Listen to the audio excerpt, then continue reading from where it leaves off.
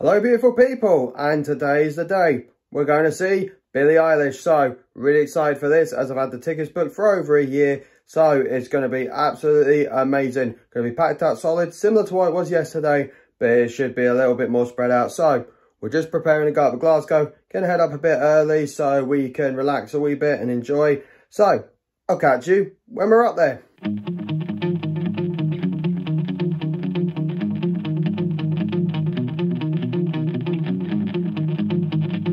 So we're in Glasgow just now. Um, we're in the West End just now, just going to get something to eat and probably just to chill in a bit. And then we're going to head over to the gig. So again, I'm really, really excited for this. But first, food first.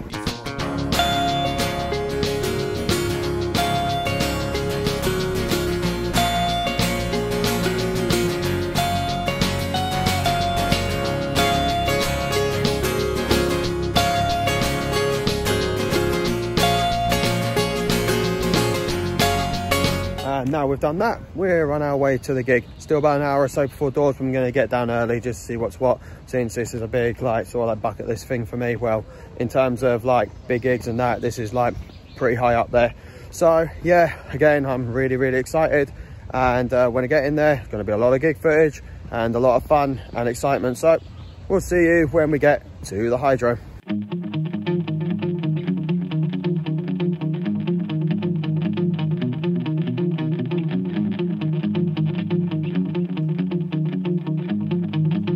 So we're just outside the Hydro and look behind me. That queue's absolutely gargantuan. Uh, the standing ones aren't too bad, but the seating ones are absolutely chocker since there is more seating in this place. But hey, we're just going to get straight in and uh, we're just going to get straight into the action. So see you in there.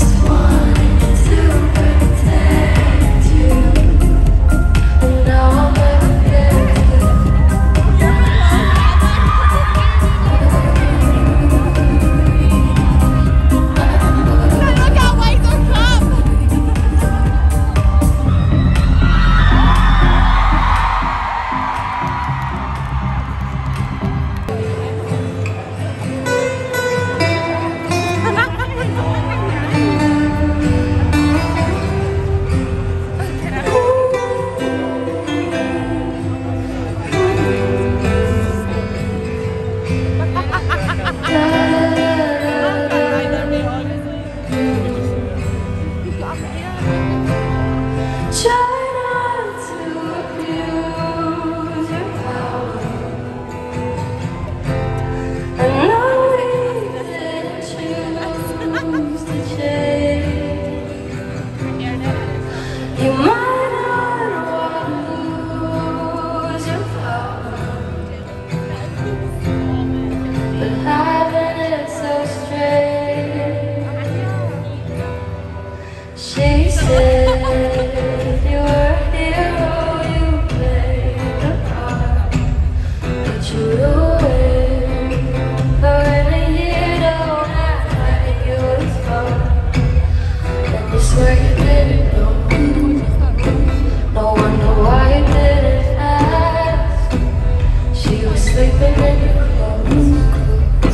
But now she's got to get to class.